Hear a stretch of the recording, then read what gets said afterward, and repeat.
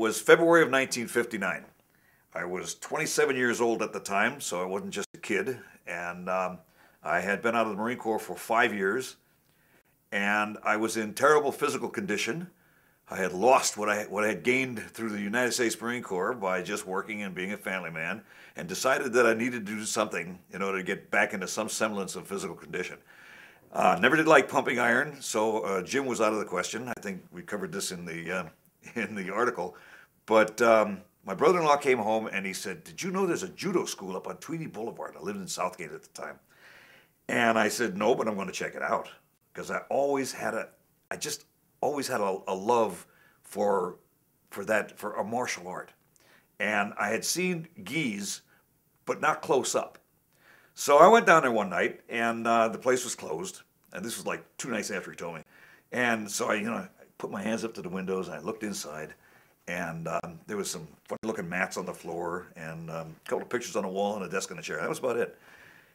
And behind me was a couple of guys on a uh, sitting on the fender of a car, and one says, uh, "Hey, you uh, you interested in that?" I said, "Well, I don't know." I said, uh, "You know, what's it cost to take judo around here?" And he says, "Well, we don't really teach judo."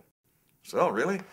I look up on this up on the roof and it says J U D O. I said, um, "What's?" Said, "Well, no." I said, "When, when, when that?" Then there was another sign on the window and it says Aikido.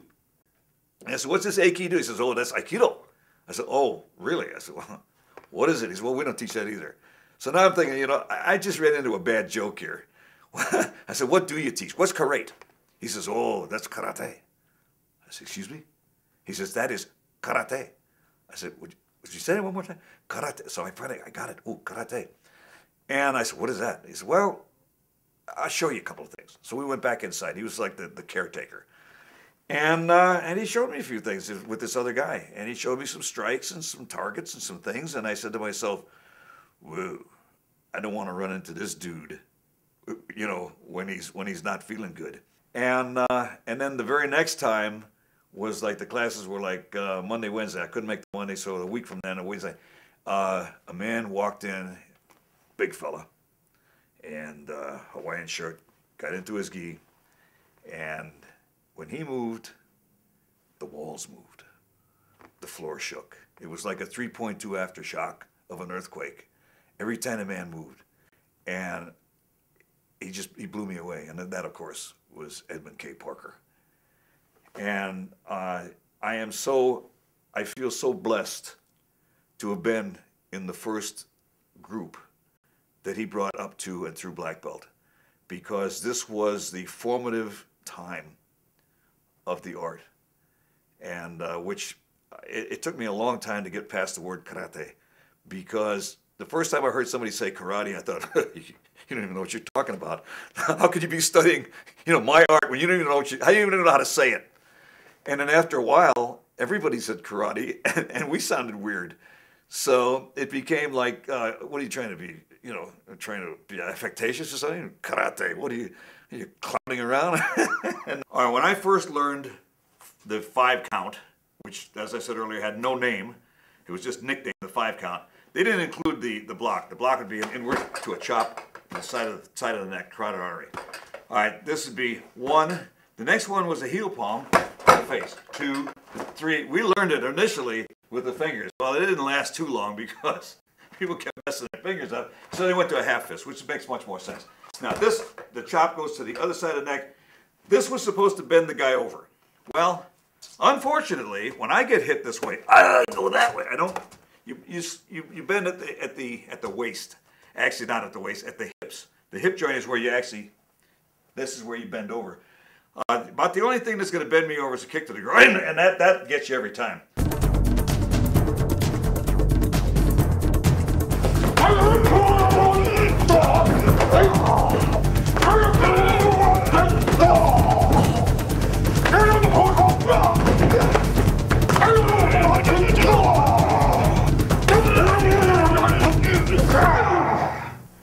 Well, I always had a thirst for martial arts. Um, it was it's kind of ironic because I used to watch TV a lot, and I saw this one master, and it just happened to be Ed Parker, and it was very ironic when I finally got to the school and found out that he was the Grand Master. Um, it, I was really pleased that it was his style that I was studying.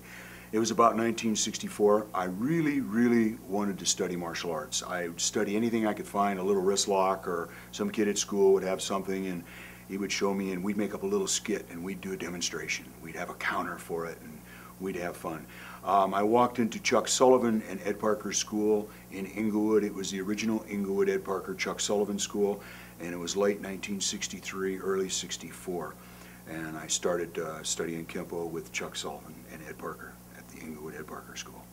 Well, there was a guy there called Crazy George, and he was the basics instructor. And Mr. Sullivan didn't get off work till about 6.30 or 7 and get there. And Crazy George, or George Quinones is his, is his name, was the basics instructor. That first class, I thought we were going to die. Um, he would taught us how to block, and he said, "Now, have you got it." I had no idea that he was going to punch us in the nose and could stop this close to our nose. We had to block to get out of the class. We did we did lots lots of fighting and lots of techniques. Um, forms were like not secondary, but um, we didn't do them every night. We were more interested in reality training. Um, Danny Inosanto had just gotten his black belt from Chuck Sullivan and left to go with Chuck Sullivan and Ed Parker at the school and left to go with Bruce. Well, it just so happens that uh, Danny Inosanto had a flat top and Chuck Sullivan had the barber shop. Everybody went to Chuck's barber shop for a haircut. So Danny came back every two weeks to get a haircut at Mr. Sullivan's barber shop and told us exactly what Bruce was doing. And then Chuck would tell Danny what we were doing and he'd go back and tell Bruce and we went back and forth. So it was kind of exciting. Well, I, I love my Kenpo and I was a well, well-rounded fighter and I really liked it. I was just in thirst of something else. And back in the day, you didn't go out and study another style and expect to come back. Okay, but Chuck Sullivan was open-minded. Danny Inosanto was a personal friend of his. I ran into Richard Bustillo at a Harley shop. I had a Harley shop myself. I built custom choppers. Richard had a Jeet Kune Do shirt on and said, uh, I said, I know Jeet Kune Do. And I showed him a hook tear punch and he laughed at me. And um, I said, I'll build your Harley if you teach me Jeet Kune Do. And that's how we got started. I went over to Danny Inosanto School. It was the IMB Academy in Torrance, California when it first opened. And uh, I built Richard a Harley and uh, he started to teach me. And I studied privately with Danny and I studied group classes with Danny. And then Jerry Poteet, um, he just happens to be French and I'm French. Um, he liked me and he took me aside. And I spent about 10 to 15 years studying privately with Jerry for my Jeet Kune Do training. I, I really enjoyed the Jeet Kune Do training. I've studied a lot of different styles, but it really helped me understand a lot of things that I already knew. What I've taken from my Jeet Kune Do training is Jeet Kune Do or JKD, they would consider classical karate people front classical committed blockers. The sensitivity and the dissolving of the front hand is very important. I like to give that to my people. As I throw a right punch, he blocks. I like to dissolve and roll around it. Mr. Parker would do a thing called reroute. He would come in and, and move around and hit.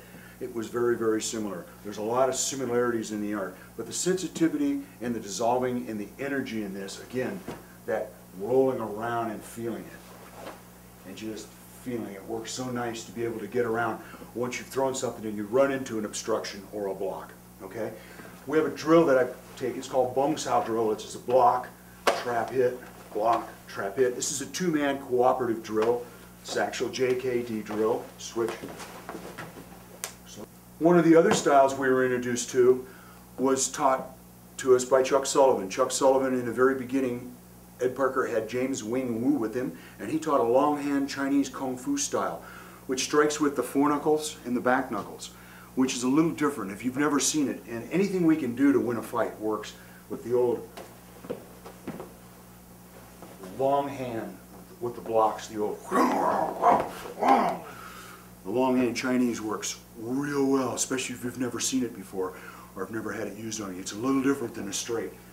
We also studied a little bit of the Japanese art, the, the Banzai Run, which is the palm exploding knee, shuffle, punch, kick, if you can't do an opposite kick punch, which is, you have to practice it, it's not easily learned, it's, okay, it's real hard to stop. So from here, boom, boom, boom,